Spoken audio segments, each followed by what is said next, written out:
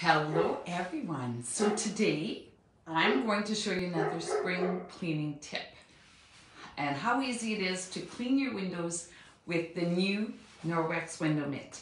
So it's like the window cloth made of the same fabric but it's a little bit heavier. There's a little bit of a quilt feeling to it so it stays on your hand.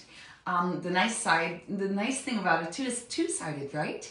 So paired with our Forever spray bottle, I've got just water and I'm going to show you how easy it is to clean your windows and patio doors. So yesterday I used the dusting mitt, we wet the screens and I washed the screens. Hey Candice, so today all I'm going to do is spray a little bit of water onto the window or to the patio door and I'm going to give my windows a thorough cleaning.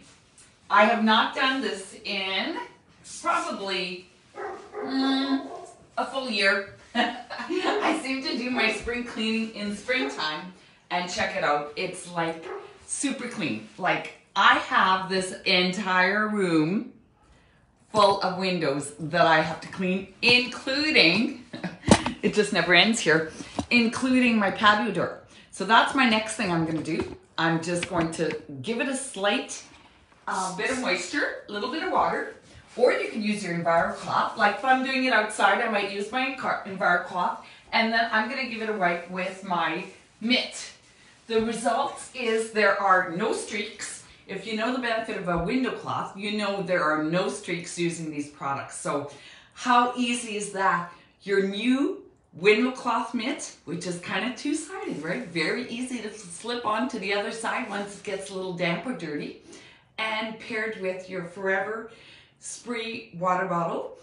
And what's really nice about these is when you have your enzyme products that you dilute, you can uh, choose, these come with different sleeves, they're silicone sleeves. They come in a uh, sea mist green, which is so pretty, the white or the gray, which is very neutral and trendy right now.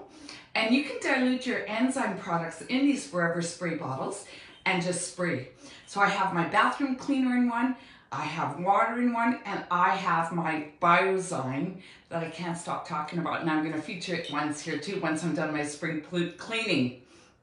So how easy is it to use just water with your Norwex products? So I encourage you all to grab your window cloth or your the new window mitt if you want to give it a try. Two-sided, very pretty for the spring season um, slightly thicker so it stays on your hand.